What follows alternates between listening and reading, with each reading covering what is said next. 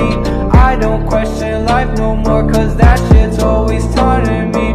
Why is it when I'm happy Depression comes back on me? I just wanna live a life where I could live in harmony. It's so fucking sad to me. I'm distant with my family. It's not your fault. Morning, guys.